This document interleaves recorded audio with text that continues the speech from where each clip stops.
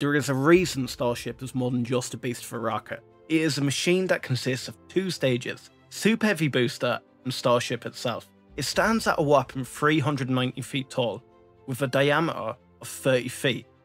It has a massive thrust capability of 7,500 tons of thrust through its 33 Raptor engines.